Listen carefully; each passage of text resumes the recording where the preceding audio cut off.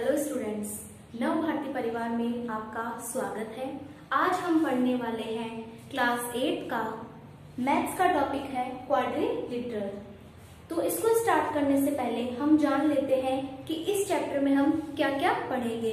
इसमें हम curves shapes polygons types of polygons और एंगल्स जैसे इंटीरियर एंगल एक्सटीरियर एंगल्स क्या होते हैं, ये सब हम इस चैप्टर में पढ़ने वाले हैं। तो स्टार्ट करते हैं हम पॉलीगन से। हम पॉलीगन किसको बोलते हैं? जब कोई तीन या तीन से ज़्यादा साइड्स तीन या तीन से ज़्यादा साइड जब आपस में मिलकर एक क्लोज शेप बना लेती है तो उसको हम बोलते हैं polygon a closed shape made up of three और more than three sides is called polygon जब कोई तीन या तीन से ज़्यादा साइड्स आपस में मिलती है और एक क्लोज शेप ये या फिर मैं आपको एक क्लोज शेप बना रही हूँ, उसको क्या बोलोगे आप? उस शेप को आप नाम दोगे पॉलीगन और पॉलीगन में कौन कौन से आएँगे? जैसे तीन से ज़्यादा साइड्स किसमें होती है?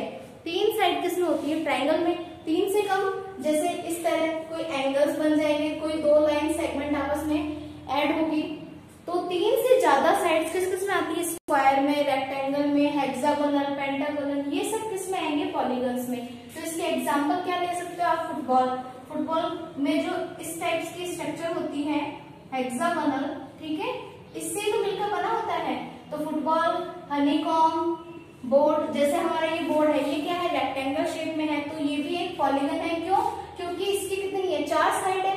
और हमने क्या पढ़ाया है इस डेफिनेशन में कि तीन या तीन से ज़्यादा साइड्स होगी तो उसको हम क्या नाम देंगे? पॉलीगन का नाम देंगे। जैसे हमारे टाइल्स भी कितनी साइड होंगी उसकी? चार साइड होगी। तो उसको हम पॉलीगन बोलेंगे। हनी कॉम जो होता है, मधुमक्खी का छत्ता, उसकी जब आप शेप देखोगे तो कुछ इस तरह की शेप होती है। ये आपस में जुड़ी हुई होती है। आपस में इस तरह से जुड़ी हुई होगी। तो इनको आप क्या नाम दोगे? पॉलीगन तो ये सब हो जाएँगे पॉलीगन के एग्जाम्पल्स अब हम देखेंगे कि तीन साइड होगी चार साइड होगी तो वो कौन कौन से टाइप के पॉलीगन्स बनेंगे? उनको हम क्या नाम देंगे? अब हम पढ़ेंगे नंबर ऑफ़ साइड्स और टाइप्स ऑफ़ पॉलीगन अगर तीन साइड मिलकर कोई शेप बना रही है तो वो क्या होगा? ट्राइंगल उसको क्या नाम देंगे हम? ट्राइंगल ये क्या है? ट्राइंगल भी एक पॉलीगन होता है। अगर कोई चार साइड आपस में मिलकर कोई क्लोज शेप बना रही हो शेप क्या होनी चाहिए? हमेशा क्लोज होनी चाहिए। कोई क्लोज शेप बना रही हो तो उसको हम कहेंगे क्वाड्रिलेटरल ठीक है? और अगर पाँच साइड मिलकर कोई शेप बना रही हो, उसको हम नाम देंगे पेंटागन अगर कोई छह साइड मिलकर आपस में क्लोज स्ट्रक्चर बना रही हो, उसको हम नाम देंगे हेक्सागोन फिर है, सात साइड मिलकर एक शेप बनाए तो उसको हम नाम देंगे हेप्टागोन या सेप्टागोन आठ साइड्स मिलकर आपस में कोई स्ट्रक्चर बना रही है शेप बना रही है, उसको हम नाम देंगे ऑक्टागोन अगर साइड क्या है नाइन है तो उसको हम नाम देंगे नोनागोन और अगर दस साइड मिलकर कोई क्लोज शेप बनानी है तो उसको हम नाम देंगे डेकागोन तो ये हो गए हमारे types of polygon and number of sides polygon में 10 से ज़्यादा साइड हो तो उसको हम एन से डिनोट कर रहे हैं कि एन का मतलब क्या हो सकता है? One two three sorry three से स्टार्ट होंगे ना? थ्री फोर फाइव कितने भी हो सकते हैं, तीन या तीन से ज़्यादा साइड्स ठीक है? तो उसको हम नाम देंगे एन साइडेड पॉलीगन अब हम देखेंगे कि पॉलीगन में इंटीरियर एंगल्स और एक्सटीरियर एंगल्स किस तरह से लिखते हैं। जैसे कोई शेप है, इस तरह से हमने ये शेप ले ली, ठीक है? इसके अंदर के साइड जो एंगल्स बनेंगे, चाहे वो कितने के भी हो तो वो क्या होंगे? अंदर वाले इंटीरियर एंगल क्या होंगे? इंटीरियर एंगल ठीक है? और अगर कोई शेप इस तरह से हो, ठीक है? इस तरह से कोई शेप जा रही हो, इसको थोड़ा इस साइड से बना लेते हैं। इस तरह से कोई शेप हो तो यहाँ एंगल यहाँ कोई एंगल बन रहा है तो वो क्या होगा? एक्सटीरियर एंगल क्या हो जाएगा? एक्सटीरियर एंगल क्यों? अगर किसी क्लोज्ड शेप के अंदर बन रहा हो तो उसको बोलेंगे हम इंटीरियर एंगल अगर क्लोज्ड शेप क्लोज शेप तो इतनी हो गई. इसके अंदर वाले एंगल्स को तो हम क्या बोलेंगे? इंटीरियर और इसके बाहर, ये क्या बाहरी तरफ़ बन रहा है तो इसको हम बोलेंगे एक्सटीरियर एंगल कुछ इंपॉर्टेंट डेफिनेशंस पढ़ेंगे. जैसे वर्टेक्स ऑफ़ एंगल या फिर adjacent of angles interior angles exterior angles या फिर लाइन सेगमेंट किसको बोलते हैं? एडजसेंट साइड क्या होती है? डायगोनल क्या होता है? ये सब हम डेफिनेशन पढ़ेंगे। तो फ़र्स्ट हमने लिया है वर्टेक्स ऑफ़ पॉलीगन कोई भी पॉलीगन है या फिर कोई भी शेप है, उसका वर्टेक्स क्या होता है? उससे पहले हम देखेंगे, ये क्या है? एक लाइन है।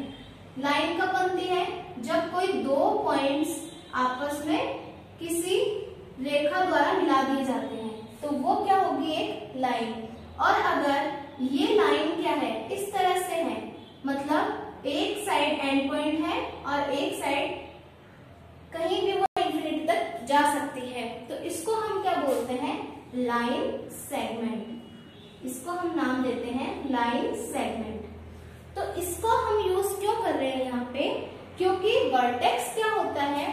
कोई भी लाइन सेगमेंट है, कोई भी लाइन है, उसका जो एंड पॉइंट होता है, उसको हम बोलते हैं वर्टेक्स क्या समझे यहाँ से कोई भी लाइन है उसका जो एंड पॉइंट है उसको हम नाम देते हैं वर्टेक्स ठीक है तो पॉलीगन की वर्टेक्स क्या होगी कोई भी लाइन सेगमेंट होगी उसकी जिस भी साइड से मिलकर बना है पॉलीगन जिस भी साइड से मिलकर बना है तो ये क्या है A point B point C point और डी पॉइंट तो ये जो इसके एंड पॉइंट्स है A B C and D ये इसके हो जाएँगे वर्टेक्स ठीक है? पॉइंट है हमारे पास एडजेसेंट वर्टेक्स एडजेसेंट वर्टेक्स का मतलब है कि कॉमन एंड पॉइंट जैसे इस तरह से कोई हमारे पास शेप है, ठीक है? इस तरह से हमारे पास कोई शेप है।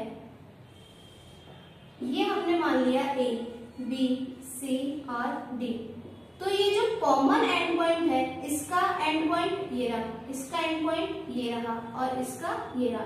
ए क्या है? ए बी ए सी और ए डी का कॉमन पॉइंट है। तो कॉमन एंड पॉइंट को हम नाम देते हैं एडजेसेंट वर्टेक्स ठीक है?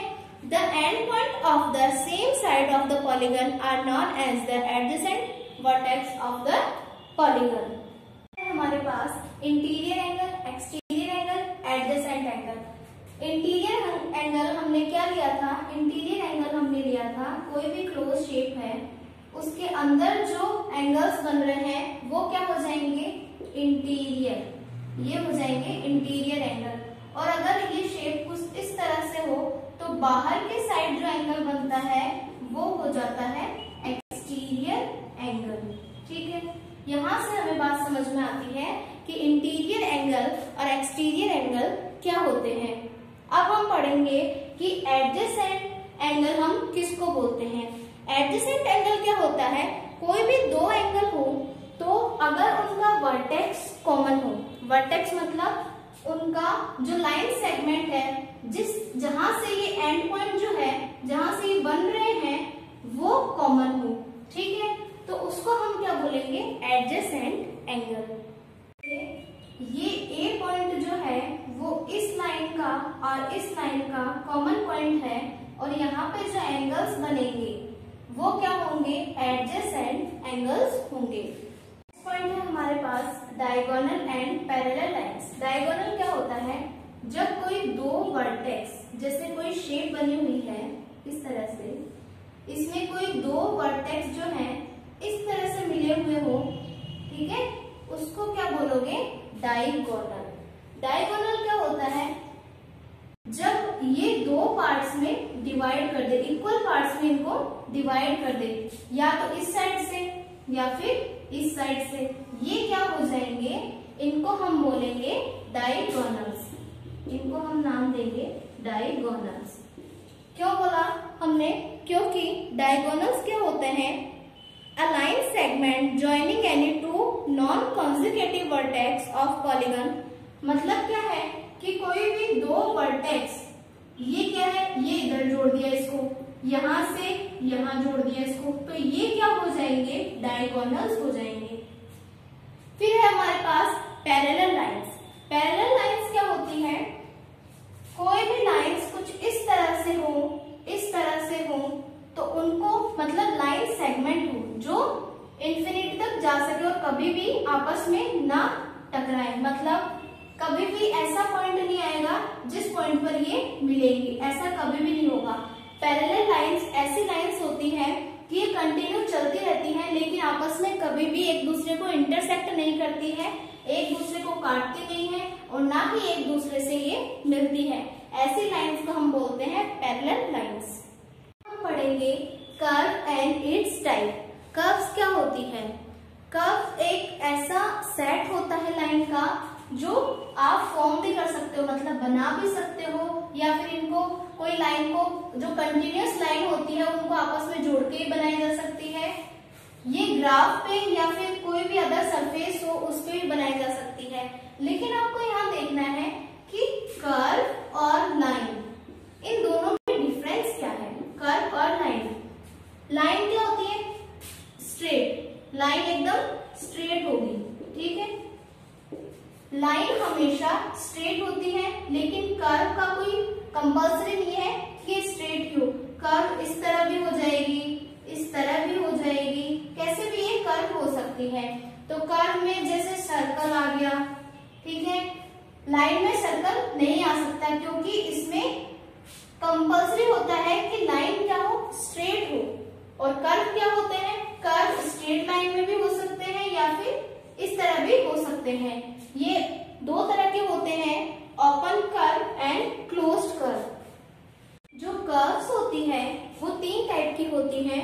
फ़र्स्ट है open curve second close curve और थर्ड होती है सिंपल क्लोज्ड कर्व तो सबसे पहले हम पढ़ेंगे ओपन कर्व ओपन कर्व क्या होती है? Does not cross at any point ये ऐसे इस तरह से होंगी कि ये एक दूसरे को क्रॉस ना करे। मतलब कोई भी पॉइंट ऐसा नहीं होगा जब ये आपस में क्रॉस करेगी। मतलब क्या है कि इनका स्टार्टिंग पॉइंट और एंड पॉइंट ये नहीं होगा। Begin and end points do not join together आपस में जैसे ये कहा से स्टार्ट हुआ यहाँ से और एंड पॉइंट कहाँ है यहाँ पे। तो ये आपस में नहीं मिल रहा है। इसका मतलब ये क्या है? ओपन कर इसमें भी यहाँ से स्टार्ट हुआ और इसका एंड पॉइंट क्या है? यहाँ पे। तो ये भी नहीं मिल रही ये भी क्या आ गया? ओपन कर्व में। इसका भी बिगिन पॉइंट और एंड पॉइंट सेम नहीं है तो ये भी आ जाएगा ओपन कर्व में। लेकिन क्लोज कर्व क्या होती है? इसका कोई भी एंड पॉइंट नहीं होता है।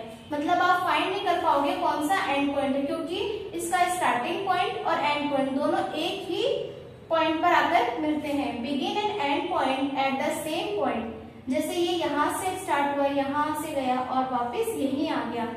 सर्कल है स्क्वायर है।